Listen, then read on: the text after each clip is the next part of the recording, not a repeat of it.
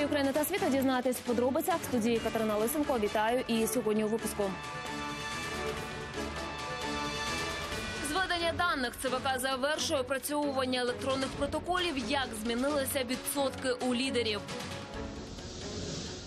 Без води та сну члени дільничних комісій здають протоколи у нелюдських умовах. Чому документи приймають так повільно? Поради із заходу, як оцінили хід голосування міжнародні спостерігачі та які порушення побачили.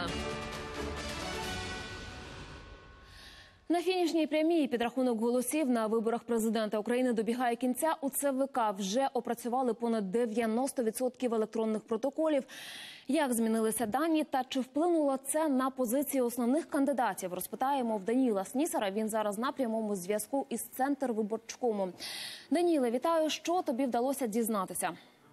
Катю, добрий вечір. На цю годину Центральна виборча комісія опрацювала понад 92% електронних е, протоколів. Це понад 17 мільйонів е, бюлетенів. Тож перша п'ятірка виглядає так: безперечний лідер першого туру Володимир Зеленський набирає понад 30% голосів. Майже на 15% від Зеленського відстає діючий президент Петро Порошенко. У Юлії Тимошенко 13,3% голосів. У четвірці лідерів також Юрій Бойко, засновник опозиційної платформи за життя. У нього 11,5% голосів. І замикає п'ятірку із результатом у майже 7% Анатолій Гриценко. Офіційні результати Центральна виборча комісія має оголосити до 10 квітня. Е, На цю годину до ЦВК надійшли три протоколи з мокрими печатками із округів у Кременчузі, із Донецької області та із Деснянського району Києва. Е, До транспортування документів залучили також правоохоронців. Е, За час голосування до прав- до правоохоронних органів надійшло 2605 заяв про вчинення правопорушень. Про це під час брифінгу розказав міністр внутрішніх справ Арсен Аваков. системных нарушений на выборах э, мы не увидели. Мы имели значительное количество э, обращений по нарушениям. Всего у нас зарегистрировано таких нарушений 2605. В рамках этих нарушений э, есть административные протоколы, которые были э, сложены, и открытые 61 ЕРДР уголовное производство. Но все эти производства имели несистемный характер, имели э, единичные случаи. Жодне з цих правопорушень суттєво не вплинули на результати першого туру, наголосили в МВС. Е, Продовжують за ходом голос е, за ходом виборчого процесу слідкувати 32, е, 32 тисячі співробітників е, МВС. Е, Додалося роботи і у кіберполіції. Е, Здійснюються спроби е, зламати сайт ЦВК. Е, Вони, е, вони фіксують е, ці спроби із IP-адрес у Росії, а також із, е, із Києва. ЦВК на сьогодні свою роботу закінчила і отримувати протоколи вони е, продовжать вже завтра. На цьому в мене все. Дякую, Дан- Даніла, за останні дані. На зв'язку з нами був Даніл Снісар. Він зараз у ЦВК. Кандидати на дебати Національна суспільна телерадіокомпанія України запросила лідерів президентських перегонів взяти участь у теледебатах. Про це повідомляє прес-служба мовника. Дебати мають відбутися в останню п'ятницю перед днем голосування, тобто 19 квітня. Учасники зустрічаються між 19 та 22 годинами в прямому ефірі. Триває процес не менше години. Кандидати на посаду президента беруть участь особисто. У разі відмови одного увесь час надається іншому. Про випадки порушення виборчого законодавства під час голосування заявив Юрій Бойко, кандидат у президенти та засновник опозиційної платформи за життя. Політик зазначив, що лише за останньою інформацією зафіксовано понад 100 випадків порушень. Тому політик відрядив до проблемних дільниць юристів, аби ті вивчили ситуацію. Водночас Юрій Бойко подякував виборцям за підтримку та активну позицію. Ну, у нас примерно около 100 нарушений уже отфиксировано. Мы специально сейчас формировали бригады, которые поехали по городам и участкам Донецкой области, где вдруг э, неожиданно у нас э, действующий пока еще президент получил поддержку в 30%, при том, что э, все социологические опросы показывали, что у него там больше 7% нет. И вдруг такое произошло, вот мы это явление загадочно изучим, И это будет предмет разбирательства и нашего заявления э, в правоохранительные органы обязательно. Что уже сегодня ясно в преддверии второго тура? Первое, абсолютно ясно, что сегодняшний режим, сегодняшняя власть будет сменена. Потому что это требование абсолютного большинства украинцев, которое ярко проявилось по результатам уже первого тура голосования на выборах президента. И второе, я очень благодарен людям, и я думаю, что такая же тенденция будет и на втором туре. Больше людей пришли на выборы, чем на выборы президента 2014 года. Это значит, что люди осознают свою ответственность, они хотят участвовать в решении судьбы страны, Водночас у штабі Юрія Бойка сповістили, що паралельно з ЦВК підрахували майже 100% голосів. За словами нардепа від опозиційної платформи за життя Нестора Шуфрича, офіційні результати кандидата Бойка занижено на 20%, А проходженню нинішнього президента до другого туру можна завдячити опозиціонерам, які щинили провокації перед виборами. У нас есть уже э, результаты обработки почти 100% параллельного подсчета, точнее 93%. И мы уже сегодня можем говорить, что экзит-полы э, были э, не совсем точные. Результаты Юрия Анатольевича Бойко занижены на 20%, а результаты президента завышены на 20%. При этом я не могу не отметить, что Петр Порошенко, возможно, возможно, э, будет участвовать во втором туре исключительно благодаря Александру Вилкулу и его команде. Ведь именно те 4%, которые сегодня предварительно мы фиксируем в результатах Александра Вилкула и обеспечивают ему возможное, подчеркиваю, прохождение во второй тур и этим самым фактически не допускают реальное участие Юрия Анатольевича Бойко во втором туре э, вместе с Зеленским. Підрахунок голосів триває. Окружні виборчі комісії приймають протоколи від ДВК. Не минулося без неприємностей. Зокрема, у Миколаєві жінка обманом забрала сейф-пакети з протоколами у членів комісії та розірвала документи. Зараз її розшукує поліція. Про ситуацію в інших регіонах розкажуть наші кореспонденти. В Одесі окружні виборчі комісії в день зробили перерву на кілька годин, аби члени ОВК трохи перепочили. Нині протоколи і далі приймають в окружкомах натовпи людей. Стоять у коридорах та на сходах. Дехто примостився на коробках з бюлетенями. А в ОВК, що у Київському районі, емоції не стримують та обурюються, що чиновники не змогли все нормально організувати. огромнейшая претензия и огромный позор за вот это вот скотское отношение к людям не присесть, ни воды попить. Единственное, что благо, что в туалет можно сходить. А от у татарбунарах в окружній комісії немає навіть туалету. Членам дільничих комісій пропонують користуватися вуличним. Это хуже, чем в советское время на вокзале. На Дніпропетровщині вже опрацювали майже 100% протоколів. Тут теж черги в одній з ОВК кажуть, це не їх провина, адже члени дільничих комісій приносять протоколи з помилками. Тож їх або доводиться виправляти, або відправляти на перерахунок. Або це сказується втомлюваність, або це сказується непідготовленість. Деякі люди ну займають вперше посаду секретаря або голови. Напружено працюють в Ужгороді із шести окружних комісій. Протоколи опрацювали дві. Ще дві оголосили технічну перерву до завтра. Ранком в окружній комісії номер 68 члени дільниць навіть пересварилися із представниками ОВК. кажуть, ті рахують дуже повільно. Талон показали. Давайте ви або заспокоїтесь, або ми попросимо вас допомогти. Ви заважаєте ходу виборчого процесу. А в окружній виборчій комісії пояснюють, провини не їх система не витримує навантаження. Вона працює на декілька, на хвилину-дві може зупинитись, не приймає результати, потім знову працює. Це із-за того, що сервери дуже перегружені. У 83-й ОВК в Івано-Франківську перші протоколи почали надходити ще напередодні. Втомлені і знесилені члени однієї з ДВК розповідають, протоколи намагалися здати від другої ночі. Та вдалося це лише зранку з другої спроби. Порахували без проблем. Все було ну, начебто легко, але просто були деякі помилки в протоколі. От нас це воно затримало. Для уточнення повертали представників кожної 15-ї дільниці, деяких по кілька разів. Печатки на дверях та посилена охорона. 194-та окружна комісія у Черкасах після майже добового виборчого марафону пішла на технічну перерву до 9-ї ранку.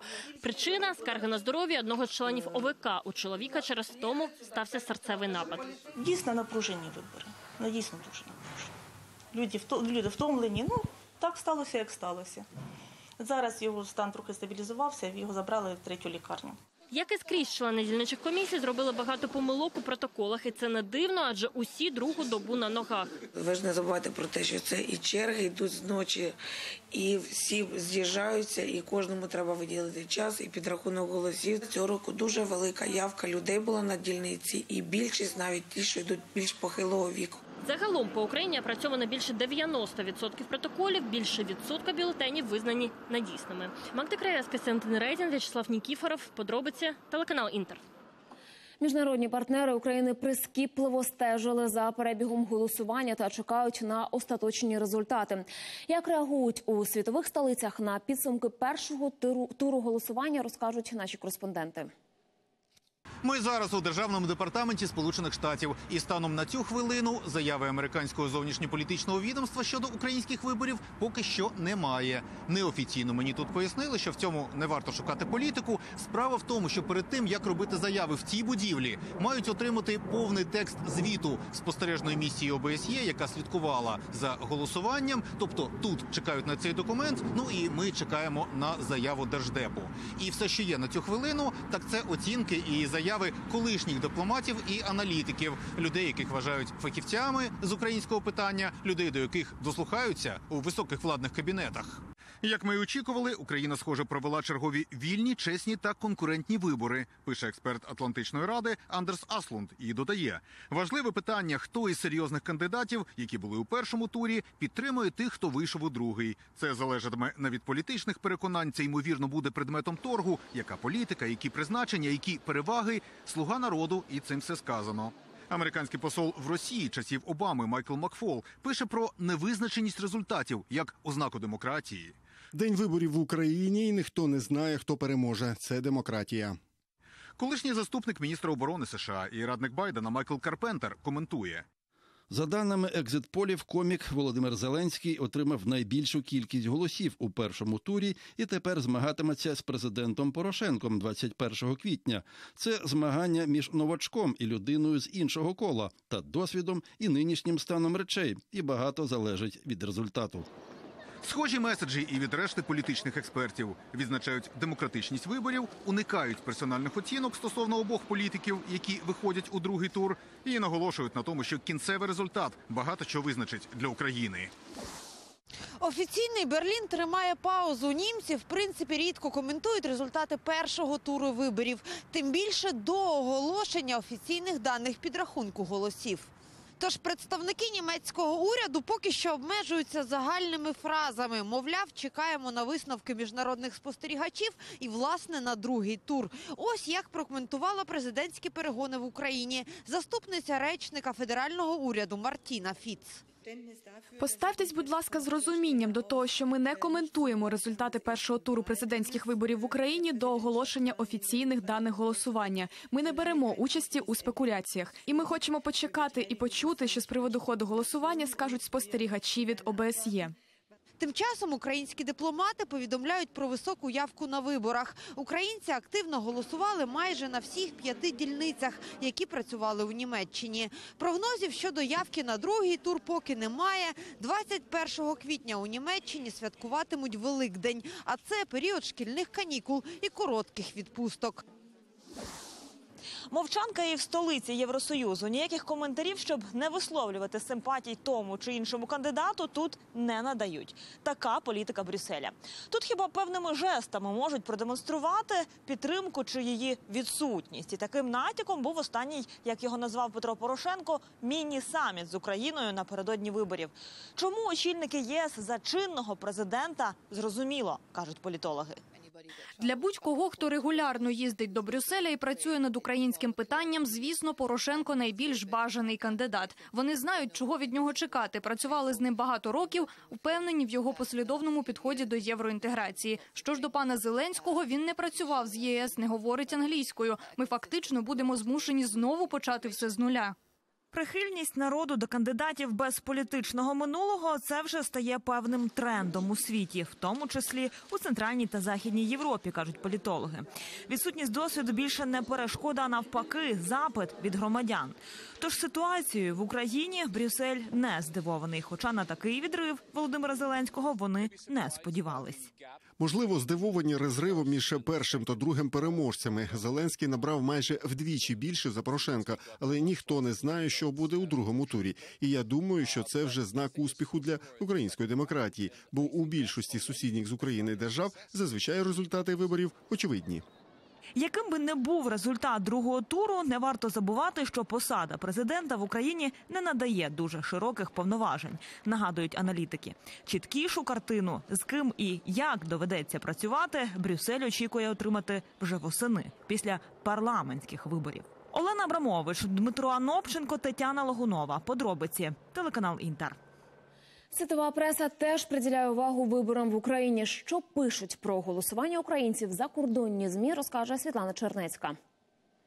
Міжнародні змі не оминули увагою вибори президента в Україні. Утім, зважаючи на те, що це перший тур і не остаточні результати, новина про екзитполи далеко не перша. Зокрема, місцеві вибори у Туреччині і поразка партії президента Ердогана цікавлять закордонну пресу трохи більше. Утім, матеріали з Києва доволі глибокі та інформативні. Це не жарт, пише американська New York Times. Телевізійний комедіант виграє перший раунд виборів. Пан Зеленський розмив межі між своїм телевізійним персонажем та виборчою кандидатурою. Назва шоу Слуга народу стало назвою його партії. Багато виборців кажуть, їм здається, ніби знають його після років телевізійного перегляду. Подібним чином результат Володимира Зеленського оцінюють і інші міжнародні видання. Зокрема, на BBC зазначають, що у нього жодного політичного досвіду, а використання комедіантом соцмереж забезпечило йому підтримку молоді. У німецькому Die Zeit акцентують і на незвичній кампанії Зеленського. Він не тиснув руки на передвиборчих заходах. Замість цього знімав останні серії телесеріалу. Він не вів передвиборчі дебати, а вісміював політиків у мініатюрах перед повним залом. І українці, напевно, хочуть продовження цього шоу не лише на сцені і на екранах, але й у реальності. А у французькій газеті «Ле Monde» результат Зеленського називають приголомшливим проривом та подвигом. Мовляв, йому у рекордний термін вдалося перевернути стару політичну шахівницю. Водночас говорять і про нереалістичні обіцянки комедіанта, як то зарплата вчителям до 4 тисяч євро. Багато видань усе ж зазначають, що вибори в Україні в рамках світової тенденції. В Україні відбувається бунт популістів проти корумпованих політиків. Це звучить знайомо. Ми бачимо це по всьому світу. Бунт популістів, який призвів до протестів жовтих жилетів у Франції, голосування за Брекзит у Великій Британії і прихід до влади президента Трампа у США. Аналізують у пресі і невисокі результати Петра Порошенка. Зокрема, згадують досягнення президента, як то асоціація з ЄС, відокремлення української церкви від російської, але говорять і про провал у боротьбі з корупцією. Він втратив довіру людей через невиконані обіцянки. Втім, прогнозувати результати другого туру міжнародні оглядачі не поспішають. Мовляв, тепер багато залежатиме від наступних трьох тижнів. Світлана Чернецька, Юрій Романюк. Подробиці британське бюро телеканалу Інтер. Без системних порушень та з дотриманням принципів демократії. Така оцінка першого туру виборів від іноземних спостерігачів. Загалом до України їх прибуло майже 2,5 тисячі, і в цілому оцінило голосування позитивно. Однак вказали і на проблеми. Порушення зафіксували також українські спостерігачі, які про це в наступному матеріалі. Перший тур виборів відбувся вільно й демократично, попри серйозні ризики та окремі порушення. Такого висновку дійшли представники ОБСЄ, НАТО, Європарламенту та ПАРЄ. Більш ніж дві тисячі міжнародних спостерігачів стежили за перегонами із самим днем голосування, а свою позицію оприлюднили на спільному брифінгу. Ми можемо говорити, що ці вибори стали конкурентними. Була забезпечена можливість голосувати за того кандидата, якого обрав громадянин. Безумовно, все визначатиметься в другому турі. Сподіваюся, що це надихне українців продовжити демократичний розвиток у світі із європейськими цінностями.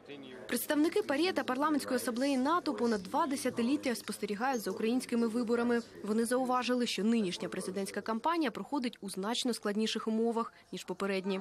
Процес голосування був упорядкованим і добре організованим. Виборці здійснювали волевиявлення без обмеження своїх прав. Але ми також відзначили присутність помітної кількості так званих технічних кандидатів, які брали участь на користь інших, використовуючи медійний час і бюджетні кошти. Це означає, що правила гри не були однаковими для всіх. Тож усе це не змінює віру суспільства в те, що виборчий процес справді демократичний. А от представник Європарламенту Даріуш Росаті звернув увагу і на болючі питання порушення виборчих прав переселенців і тих, хто живе на окупованих територіях. Вибори відбулися і були ефективними, попри негативні чинники. Це і поширення фейків, і збройна агресія проти України, і порушення виборчих прав переселенців, окремі випадки застосування адмінресурсу і неналежне використання змі кандидатами. Канадська місія незалежних спостерігачів одна з найбільших серед тих, що прибули до України на час проведення виборчої кампанії. Впродовж учорашнього дня відвідали майже 900 дільниць. Вибори були досить чесними. Іноземні спостерігачі побачили загальну довіру виборців до процесу та бажання здійснити волевиявлення. Однак буде другий тур виборів і будуть парламентські вибори восени. В українців вчора був перший шанс запустити демократичний процес обрання влади. Крім того, канадці радять українським кандидатам у президенти більше уваги у своїх програмах приділяти гендерним питанням. А українське медіасередовище називають відкритим та динамічним. А от американська місія наголошує, хто б не став наступним президентом, головне Україна має продовжити розпочаті антикорупційні реформи. Сама суть виборів це протест проти засилля чиєїсь влади. І нещодавні результати екзитполів це індикатор того, що довіра до нинішньої політичної еліти є недостатньою. Це досить цікавий випадок. Утім, у день виборів на дільницях працювали не тільки іноземці, а й понад дві тисячі їхніх колег із України. Кажуть, порушення були, але не системні. Проведення дня голосування відповідало нормам чинного українського законодавства та міжнародним стандартів чесних демократичних виборів. Ми маємо підстави говорити, що кількість, характер, системність порушень чинного законодавства е, мож достатньо коректно порівнювати із попередніми виборами президента України 2014 року. Зокрема, мова йде і про агітацію в день тиші, і про підрахунок голосів ще до закриття дільниць, і про протестне голосування, тобто коли виборці навмисно псували бюлетені. Був бюлетень, який був е, е, через весь бюлетень був зроблений великий настрій, е, е, великий е, напис всіх розстріляти, окрім кандидата Ікс.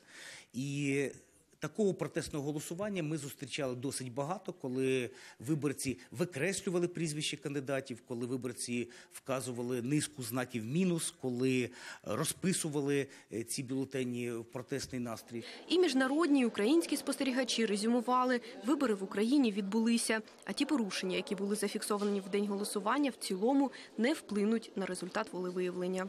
Лариса Зубенка, Наталія Шумакова, Любов Кукла, Богдан Савруцький та В'ячеслав Фролов, Сергій М'ясоєдов. Подробиці телеканал Інтер. Україна довела всьому світу, що є демократичною державою. Так прокоментував президентські вибори прем'єр Володимир Гройсман. За його словами, активність виборців була високою, і всі мали змогу віддати голос. Гройсман також зазначив, що в другому турі важливо, аби кандидати запропонували реалістичні програми. А вибір, який зроблять українці, відповідав їхнім бажанням та поглядам. Зрозуміло, що буде відбуватись другий тур виборів, і кандидати будуть пропонувати своє бачення майбутнього. І дуже важливо, щоб е, наш вибір, який ми зробимо вже у другому турі, співпадав з нашими бажаннями, з нашими поглядами на майбутнє. І дуже важливо, щоб кандидати дуже чітко презентували, яким буде майбутнє України. І мені би дуже хотілося, щоб всі ті а, програми, всі ті е, плани, які будуть про які будуть говорити кандидати, щоб вони були реалістичними. Не смішне 1 квітня. Ці слова стали чи не найпопулярнішими серед користувачів соцмереж, які коментували вибори в Україні. Хтось сприймає результати як поганий жарт, а дехто називає іспитом для всієї вітчизняної політики. Докладніше про реакцію соцмереж у нашому матеріалі. Яка країна, такий і Рейган. Так, користувачі Фейсбуку пишуть про результати першого туру, вірогідно порівнюючи Володимира Зеленського із сороковим президентом США Рональдом Рейганом. Деякі налаштовані більш оптимістично. Ми можемо стати першою країною, де буде міністерство сміху. Користувачі Твіттеру ж здивовані увагою Росії до українських виборів, обговорюють у соцмережах і низьку явку на вибори в західній Україні і вважають причиною не еміграцію, а те, що люди не бачать гідного кандидата, за якого б готові були віддати свій голос. Тож обрали шлях взагалі не йти на вибори. Також користувачі соцмереж вимагають дебатів перед другим туром виборів. Люди пишуть, поки що ми навчилися слухати, а не аналізувати й порівнювати. Тож зараз треба навчитись цьому. Одного українського військового поранено сьогодні на Донбасі. Бойовики чотири рази обстрілювали наші позиції, тричі застосовували заборонені калібри. Більшість провокацій на Луганщині. А на околицях Авдіївки активізувалися снайпери. Більше розкаже Ігор Леванок. В основному ночі бувають одиночні простріли з їхньої сторони. Не так, щоб сильно прицельно, але над головою свистить. Передова в районі Авдіївки. Армійці кажуть, на фронті трохи стихло. Великі калібри мовчать та бойові дії тривають. Ворожі снайпери чітко дають це зрозуміти.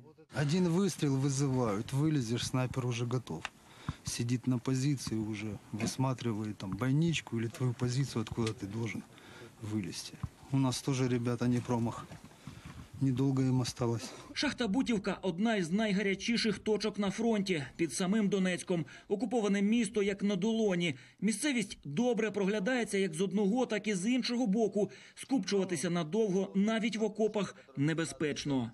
Буквально мы отошли минут 7-10 от старых позиций, где вы снимали.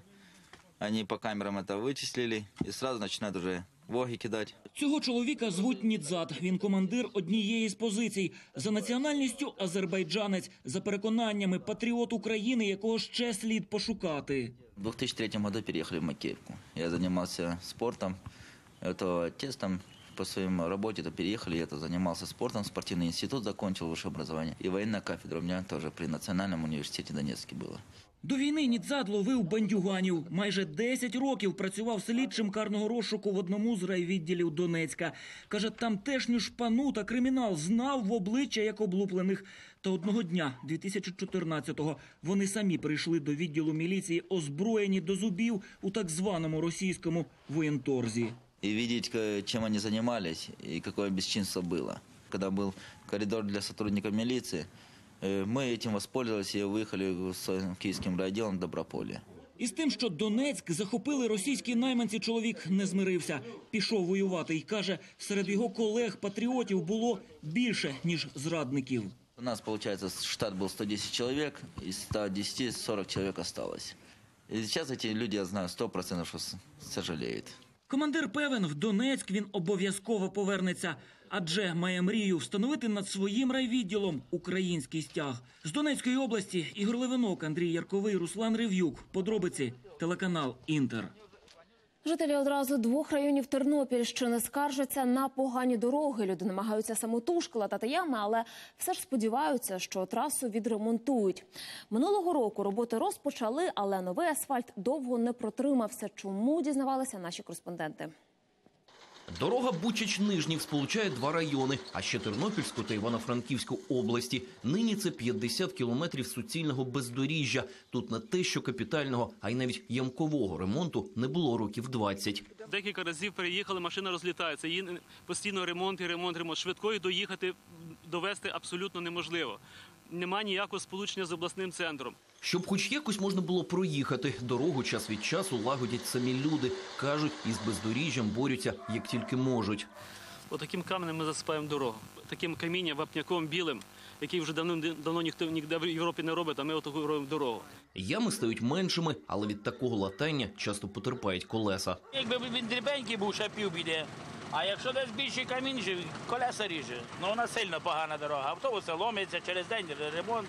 Від цієї дороги залежать 15 тисяч жителів довколишніх сіл. Людям усе ж пообіцяли її реанімувати. Щоправда, за умови співфінансування. Місцеві підприємства зібрали майже 100 тисяч гривень і оплатили проектні роботи. Ці кошти благодійні могли піти на розвиток іншого якогось об'єкту чи іншого якоїсь капітального ремонту, але ми проплатили кошторисну документацію. На ремонт людям довелося чекати два роки. У листопаді на одній з ділянок розпочали роботи. За 2 мільйони гривень зробили півтора кілометра. Та нове покриття не пережило зиму. О, все, пішла дорога. На новій дорозі і нова латка. Місцеві активісти переконують, усе через недотримання шляховиками технологій. Ми з групою активістів коробчан виїхали е, на місце робіт проведення, Е, і ми були здивовані, що то був е, перший день дощу, такої підвищеної вологості. І нам здавалося, нам видалося, і це було логічне запитання, чи можна в таку погоду, коли йде дощ, коли мжичка, робити дорогу, чи це не зашкодить. Люди телефонували підряднику, але той запевнив, мовляв, дощ ремонту не завада. Дощ, це не заважає проведенню робіт? Не заважає. Не буде воно піднімати асфальт. Це, це... Ні, ні, ні, ні. Я був на тій дорозі, був голова адміністрації, голова ради. То страшно тільки, якщо була пилюка, листя. Були порушення чи ні, і за чий кошт усуватимуть недоліки. Дізнатися це в замовника керівництва монастирської райдержадміністрації не вдалося. Ми просто виїзд. А де саме? Цьогоріч ремонтні роботи на дорозі планують відновити. Щоб полагодити 50 непроїзних кілометрів через Коропець, треба майже 80 мільйонів гривень. Однак на всі потреби монастирського району планують виділити лише 12 мільйонів. Олексій Пшемиський, Жанна Дучак, Зиновій Автонас, телеканал Інтер, Тернопільська область. Скандал в Одеському облавтодорі. Група молодиків сьогодні вдерлася до офісу служби автомобільних доріг в Одесі та заблокувала роботу. Чоловіки погрожували працівникам служби і, за даними поліції, вимагали від керівництва установи скористатися послугами певного підрядника. Очолював нападників бізнесмен, який вже два роки перебуває у розшуку. Спецпризначенці всіх порушників, а їх було восьмеро, затримали. Вказані невідомі особи були доставлені до Хмельницького відділення поліції, де їхнім діям надається правова кваліфікація. Правопорушникам загрожує покарання у вигляді позбавлення волі до п'яти років. Два кораблі НАТО зайшли в Одеський порт. Фрегати ВМС Канади та Іспанії, Торонто та Санта-Марія прибули після патрулювання в Чорному морі. В Одесі їхні капітани зустрінуться з українськими колегами, а також прийматимуть усіх охочих на борту. Для представників змі планують провести екскурсію у середу. Після Одеси, Торонто і Санта-Марія разом із кораблями ВМС України візьмуть, візьмуть участь у навчаннях у Чорному морі. Посилення безпеки в Чорному морі і насамперед збільшення кількості кораблів НАТО, які патрулюватимуть регіон. Зокрема, обговорять головні дипломати країн альянсу. 3 квітня вони прибудуть до Вашингтона, аби взяти участь у саміті, присвяченому 70-річчю організації. Про це повідомила глава американського представництва при НАТО. За її словами, гарантування безпеки в акваторії Чорного моря стає важливим на тлі зростання російської агресії. У Запоріжжі двоє підлік- підлітків підірвалися на гранаті. Один загинув, іншого поранено. Це сталося напередодні посеред білого дня, просто на вулиці. Усі подробиці з'ясовував Сергій Бордюжа. Ну, Это почув сильний вітер, зрив. Вискакує, а тут пацанчик лежить. От так він лежав. Пенсіонер каже, все сталося близько четвертої години дня. На вибух збіглися люди майже з усієї вулиці. Ну, що ми його тут оставили, зразу скору, одну визивали, другу визвали, третю визвали. От. І вже почалося таке, що тут вже не збілося стільки народу, що не розумієш, хто куди. Поки чекали швидку, люди намагалися надати першу допомогу найстаршому 14-річному підлітку. Ну, он скрученный лежал, э, поэтому, ну как, с головы вот все лицо, с головы бежала кровь, лицо в крови. Ну, Не хотелось себе и не хотелось говорить даже такие слова произносить. Все-таки надеялась на то, что а вдруг. Ну, ну уже видно было э, там столько крови. За життя дитини лікарі боролися майже дві години та марно. Поражение селезенки, э, черепно-мозговая травма, повреждение головного мозга, если перевести на обычный язык. Э, Травмы несовместимой с жизнью. Был доставлен щекой от гранаты. Інший 13-річний підліток відбувся незначними пораненнями. Зараз він в обласній дитячій лікарні. Його життю нічого не загрожує. Да он бегал тут, и у него же ничего, у него только на руке немножко там царапина и все. Очевидці кажуть, вибух гранати стався через підліткові пустощі. Ну, разбирать начал. Он начал что-то что разбирать это. Ну, ну, как обычно мальчики, что. И что-то, а потом взорвалось. Он говорит, я успел отскочить. Этот мальчик, которому только там осколок попал в руку, он успел отскочить. А, а тот, конечно, он же присел и разбирал. Відкрито кримінальне провадження за ознаками статті 264 Кримінального кодексу України, а саме недбале зберігання вогнепальної зброї або бойових припасів. Стаття передбачає до трьох років позбавлення волі, але спочатку треба знайти того, хто залишив вибухонебезпечний предмет просто неба, адже діти підібрали гранату на сусідній вулиці. Сергій Бордюжа, Ігор Воробій, подробиці, телеканал Інтер, Запоріжжя. А в Тернополі бойову гранату знайшли біля дитячого майданчика. У поліцію зателефонували пильні перехожі. На місце виїхали слідчі та вибухотехніки. Спеціалісти евакуювали людей, які перебували поблизу. Боєприпас розрядили та направили на дослідження. За попередніми даними, небезпечна знахідка це ручна граната Ф1. Радіус її ураження понад 200 метрів. Як вона опинилася біля дитячого майданчика, поліцейські ще з'ясовують. Виїздом слідчої оперативної групи та вибухотехнічної служби було встановлено, що дійсно на тротуарі знаходиться предмет зовні схожий на гранату Ф1. Даний предмет було вилучено, упаковано та направлено на- експертне дослідження. Дана подія внесена в єдиний реєстр досудових розслідувань, проводиться перевірка. Тренування на швидкість США у рекордний термін розгорнули систему протиракетної оборони ТЕД в Ізраїлі. Така оперативність із жодними подіями в регіоні не пов'язана, наголошують у прес-службі Цахалу. Систему розгортали в рамках спільних військових навчань на півночі країни. Маневри стартували на початку березня. Система відпрацювала безліч сценаріїв. Також військові перевірили здатність ТЕД інтегруватися з системами протиповітряної оборони Ізраїлю. В аеропорту Нью-Йорка вийшов з ладу урядовий літак Німеччини. У лайнера лопнуло колесо, і він не зміг самостійно припаркуватися. Тож довелося його відбуксувати на стоянку.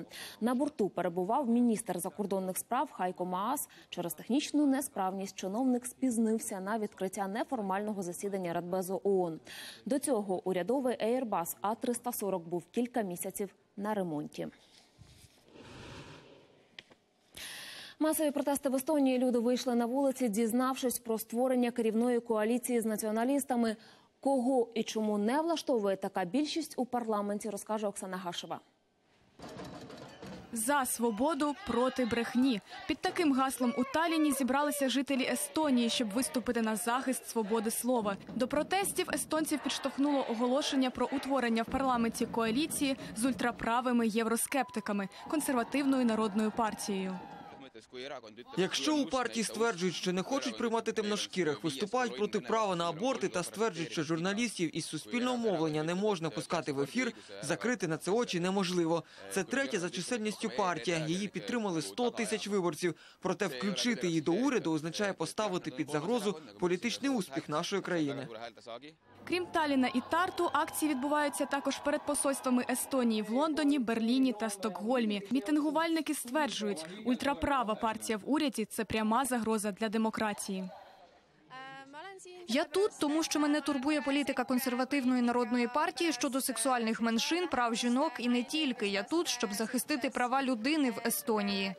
Парламентські вибори в Естонії відбулися місяць тому. Перемогу на них отримала опозиційна партія реформ ліберали з правим ухилом. Саме вона мала отримати мандат на формування уряду. Проте утворити коаліцію зі своїм головним опонентом центристською партією їм не вдалося. Тож формування коаліції у свої руки взяли самі центристи та запропонували проект більшості з двома правими партіями. Перемовини про коаліцію між трьома партіями тривали три тижні. Зараз вони на завершальному етапі. Представники консервативної народної партії обіцяють підписати угоду вже наступного тижня. Оксана Гашева, подробиці телеканал Інтер. Дорогий Брекзит, рішення вийти з Євросоюзу щотижня завдає економіці Великої Британії збитків на 600 мільйонів фунтів. Таку статистику наводять аналітики інвестиційного банку Goldman Sachs. Якщо Лондон попрощається з Брюсселем без угоди, втрати будуть іще більші через падіння фунта.